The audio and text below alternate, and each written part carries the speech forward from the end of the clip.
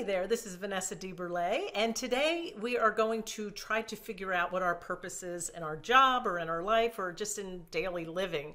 Um, my focus, of course, for this video is for you to find your why or your purpose in your business because I want you to be successful and you're not going to be driven unless you understand why you are even doing what you're doing. And any of these questions, however, can be applied to any area of your life when you're trying to find your purpose. So these are four questions that you can ask yourself to help you discover that so that you can hang on to it. So, what do we mean by um, finding purpose? Typically, we want to find our why or our purpose because that's what drives us. Think about a time in your life when you were just so razor focused and driven to accomplish a certain goal or a certain mission.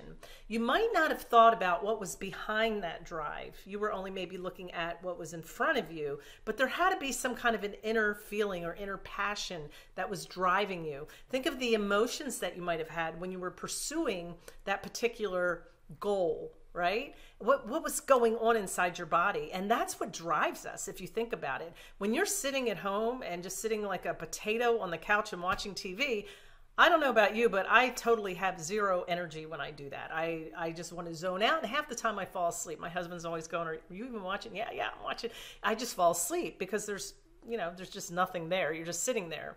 But when I'm doing something that I'm focused on and I'm driven and I have that why behind me, then I stay laser, laser focused. So let me let's go over four questions that you can ask yourself to help you discover your why. Number 1. What makes you come alive? Now, we just talked about all those emotions, but what makes you come alive? Now, for the sake of this video, let's think about our business, okay? Because that's what my channel is about, helping you build your business.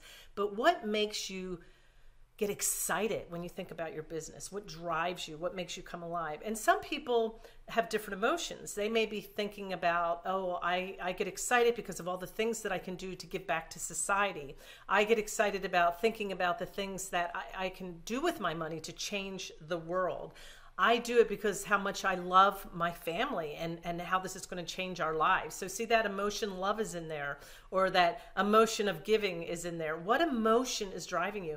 Do you want to be honest? One of the emotions I don't think that most people think about is anger can drive you. I just had an experience last week in my job that I still hold because I'm not, um, I haven't quit that job yet, but I was in a situation. I'm a lead over several employees, and I was in a situation that a, a, section of my employees were put on special assignment for something else. I'm not going to say what the job was or any of that, um, but the point is, everything came from people above me, chain of command. Okay, I'm not at the top notch of the business, but I after the whole thing was over, everybody got. Uh, um, torn from what they were doing to have to go do something else and the reasoning wasn't clear and to this day it still isn't but it's one of those things you just suck up you do it because you have to or you might lose your job. You you find that point where you can't say anything else. And it really made me angry.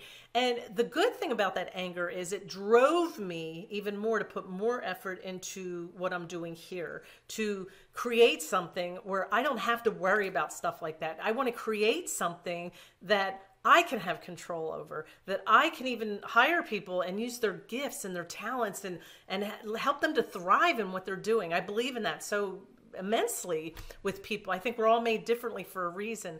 But that anger, I can use that to drive me as well as love or passion or, or all those other things. So I want you to think about your business and what is it that makes you come alive when you're working. Some of you may be at the point where you're making so much money, it's exciting, and you know, you see a ding ding ding coming in.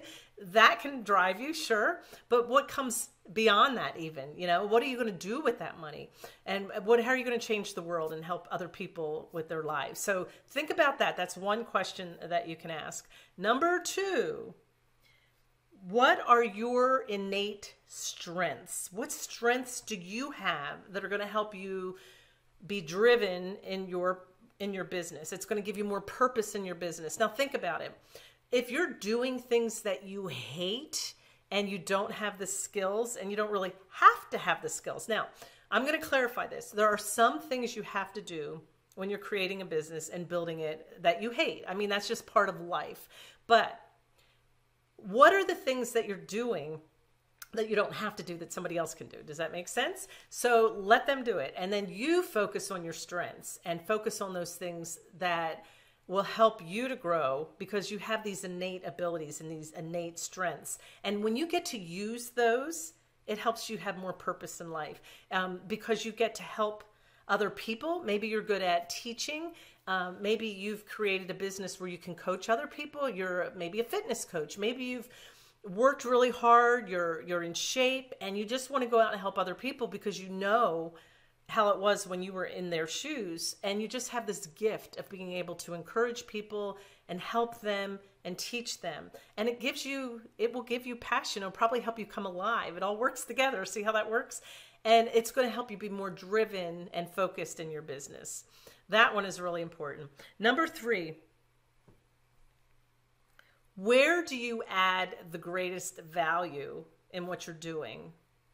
And again, if we stick with the, the health and fitness industry, how are you adding value to other people? So just because you're building a business, some of us get so into our computer and we're sitting here all day, you know, just doing things that we're not thinking about the value that we can add to others. And this is going to help you have more drive and more purpose within your business when you share and you help other people and provide value. You hear this all the time with content. And I know when I was new, it was really hard to understand the importance of that content and adding value to other people's lives.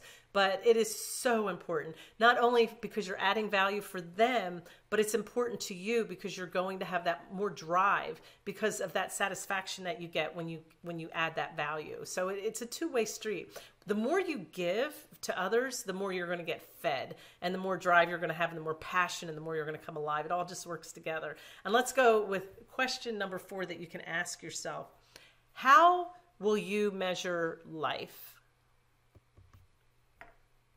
Now, what does that mean? What do you stand for? What are your values aligned with? As you build your business and you find that meaning and that purpose in your life with your business, you need to decide what your values are and what you're going to stand for. I know for me, I strive really hard to make sure this is one of my goals that I always want to have integrity with people that I work with. When I give you information, when I share content, when I coach, anything that I'm doing, I want to make sure that I am always honest and that I have integrity and I don't want to ever compromise that. So those are things that are important to me and those are things that give me more purpose and more drive within my business because I can hang on to those values and and those um, different things that I take a stand for that have a meaning in my life. So think about what it is you want people to see you for. And you know, maybe you know, maybe you want to be measured with, you know, how many things you can buy and the race cars and all that. Some people are like that, and that's fine. Those things are important to them. And then that's what you want to show when you're putting yourself out there. Um, other people, that's not important. It might be more important to give to charity and to stand up for the underdog or something like that. So think about who you are.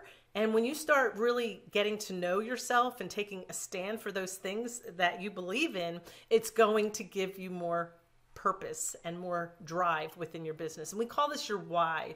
Think about those four questions. Um, I'll put them up here again for you. Um, one more time, we'll recap that.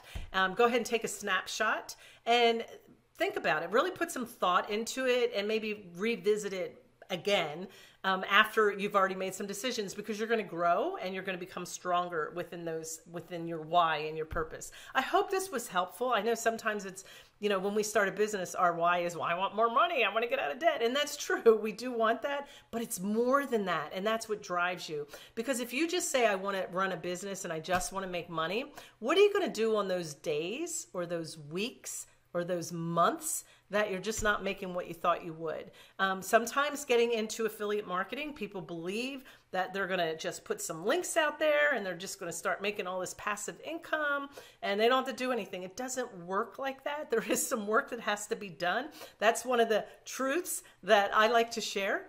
But it gets discouraging if that is your only reason for doing this. So make sure those other reasons align with who you are, and you'll still have that drive and that passion and persistence will come with that. Um, don't forget to subscribe to my channel and hit that notification button. I will be putting out videos three times a week, just like this one, to help you build your business. And thank you for watching today. I'll see you on the next video.